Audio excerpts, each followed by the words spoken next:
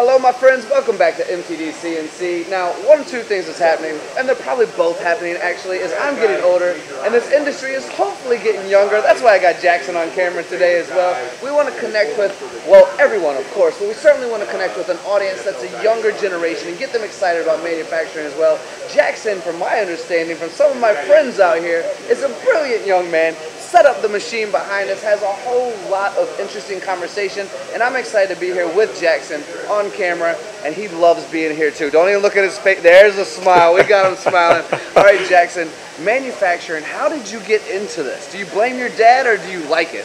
Oh, no, I do actually rather enjoy it. Um, I followed my dad's footsteps in this. Growing up, we had a, like a little drill press in the, uh, in the garage, and so that was kind of just the introduction into manufacturing and cutting metal. And then, you know, I just decided that I wanted to follow in his footsteps. So I got into a trade school, you know, halfway through high school, and, uh, you know, started out with manual lathes and manual milling machines.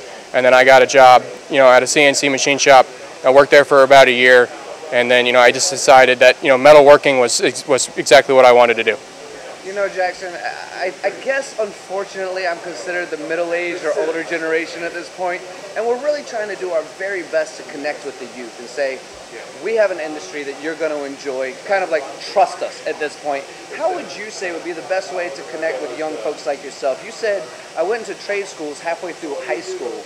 But your dad was in the industry, to be fair. How do we connect with some of the people out there that maybe don't even know this industry exists? Is it the video gamers? Is it the robotics folks? Is it the tinkerers on motorcycles? How do we connect? Well, so people who enjoy tinkering on stuff is certainly uh, you know a huge crowd in this. But you know, you know, like for me, I just knew that you know I didn't want to go and get into books and studying in college and stuff. Um, so you know, for like the kids that are not so book smart but are very hands-on, uh, this is a great opportunity for them to get into this.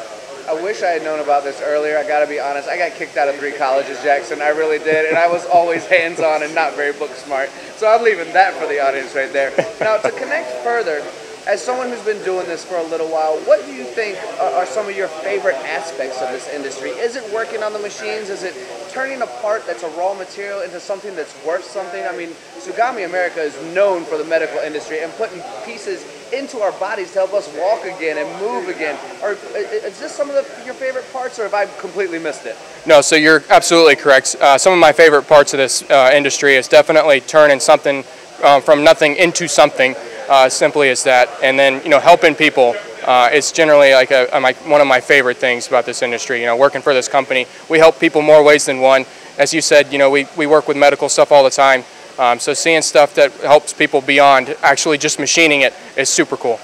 I agree with you so much, Jackson. I'm happy you said that as well because I would make the discussion that a large a portion of our society even, not just young people, but generations of mine and older as well, we look at a phone, we look at a computer, we look at our car, we look at our planes, but we don't really care how it was made as long as it works, right? But we get to see the inside scoop. We get to see how these things are made. And I'm with you, Jackson. When it comes to how I feel at the end of the day, knowing that that person who couldn't walk can now walk, the person who couldn't see can now see, can't hear can now hear. It really brings a lot of gratitude to what we do, doesn't it? Yes, it does. Yeah, I would agree with all of that. So we've gone over how you got into it. Your dad's a little bit involved. The fact that you enjoy what you're doing. The last thing I want to ask you is, a person as smart as yourself, that has so much ahead of you, would you ever consider starting your own machine shop? And if you did, what would you make? Well, I'm not sure that I could personally start my own machine shop. Um, but if I did, I would start out making little job shop parts, um, trying to find any sort of work that I could.